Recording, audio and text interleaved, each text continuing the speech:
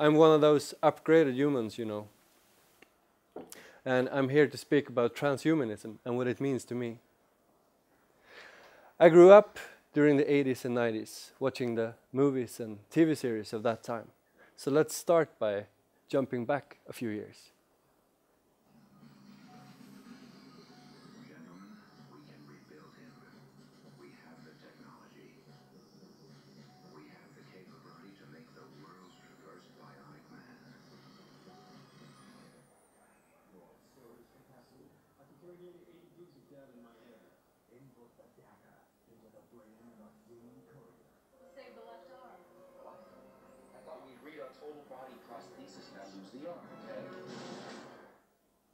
So you see, it was not just Hollywood that was seduced by having the thought of part human and part machine.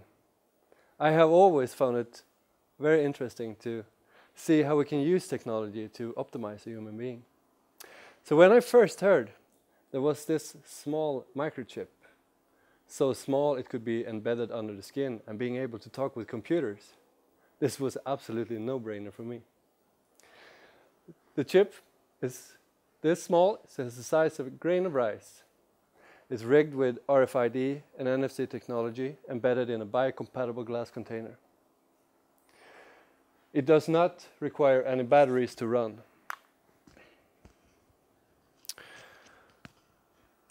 An American company first introduced these injection kits to the market. And you can order this online. And this is what you get when you order one of these pair of gloves, a drape, a gauze pad, a plaster in case you bleed. Some do. I didn't. And a syringe with a chip inside.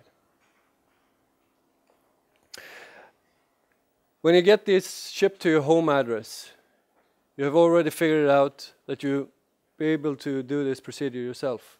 But that would be really, really stupid, wouldn't it? If you did, and ending up hurting yourself, that would be the end of my story. So I would like to encourage all of you to go to a professional and let them help you. Go to a piercing studio. You know, these guys make a living for making holes in people. They know what to do.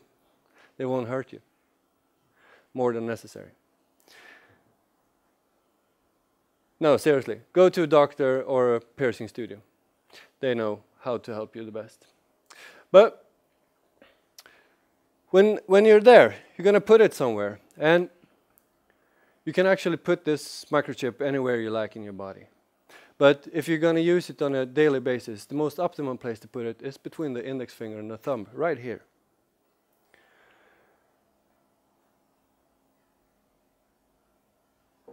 That's where most people put theirs, and that's where I put mine. Back in November 2014, me and 14 other biohacking interested guys met at a bar in Malmö. We were talking about how we can transfer knowledge between us and how we can grow the community. Our meetup group have, has up until this date grown more than a thousand percent. It's just a little bit more than a year ago. And a couple of guys in Finland started this annual biohacking summit it's held this spring in the UK. There's This is body hacking convention in Austin, Texas. And in Florida, they have a Grindfest.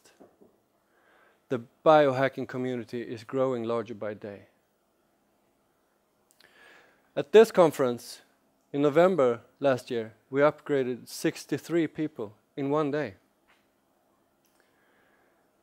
A couple of weeks later, we upgraded 23 more people an, at an event in Gothenburg.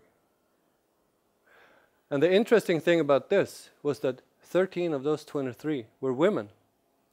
And three of those women were more than 50 years old.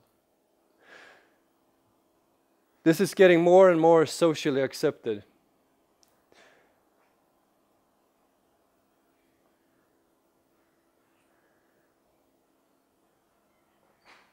And you may wonder why this is happening right now. It's because of the Internet of Things. we humans, we don't speak Wi-Fi, we don't speak Bluetooth, we don't speak NFC. But with this chip implant, all by a sudden, we can be part of the revolution. As with all technology, it's all about timing. This technology actually existed 10 years ago, but it would never have happened at that time. We have just scraped the surface of what this technology can do. Really soon we will start seeing companies utilizing this tech, starting creating creating products and services for their customers to use. I'm going to show you a few areas where I have been experimenting with my microchip implant. I start by leaving the home in the morning, activating the alarm. When I get to my office, I unlock and open the door. When I approach my password protected computer, I unlock it. And when I go to the gym, I have my gym card details synced to the chip. Now, these are all things that clutter our lives, things that we carry around in our pockets every day, things that actually could easily be replaced by this technology. But there is one thing that is a special interest of mine, and that is banking transactions. So I gathered a team, a hardware engineer from Arduino, Juan Jutara, and uh, a brilliant developer colleague of mine, Hector Valin. Together we created BioPay. BioPay lets you pay with a swipe of your hand. So I'm going to give you a short demonstration of BioPay. Now remember, this is not brought to you by some company. It's not a product. It's a proof of concept brought to you by some biohacking friends. It's always nerve-wracking to do live demonstrations, so keep your fingers crossed. I'm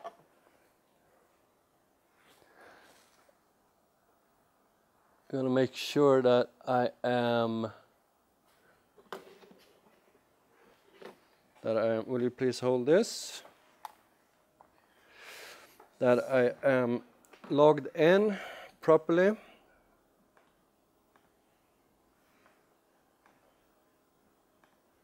show password Whoops.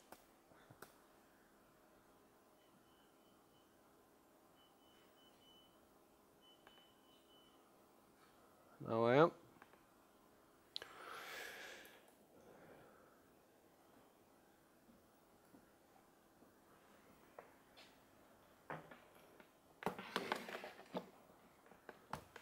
Thank you. So here's the the actual actual uh, actual terminal window where I specify the amount I want to pay. I want to pay one euro and press pay on tape. And then I have my reader here. This is the reader that reads the NFC chip. And the reading is done. Now this software is run on a software uh, on a Raspberry Pi at home at a friend's house. So it's kind of slow. Look at these numbers. I'm to switch that to euro as well.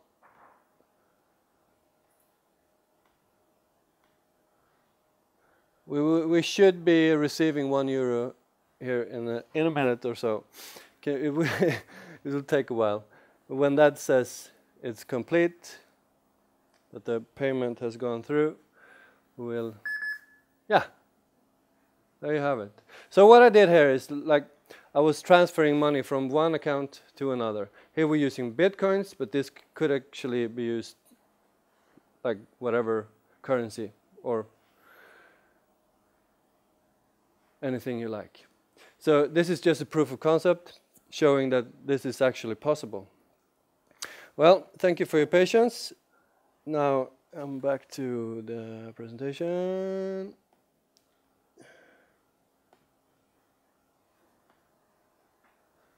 There we are. I'm glad that went well.